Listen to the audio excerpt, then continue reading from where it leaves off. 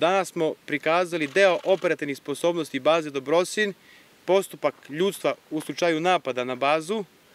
Moram napomenuti da su svi pripadnici koji se nalaze na bazi profesionalni pripadnici Vojske Srbije, koji se pre opućivanja u kopnu zonu bezbednosti obučavaju za vršenje zadataka kako bi što uspešnije sve dobijene zadatke realizovali.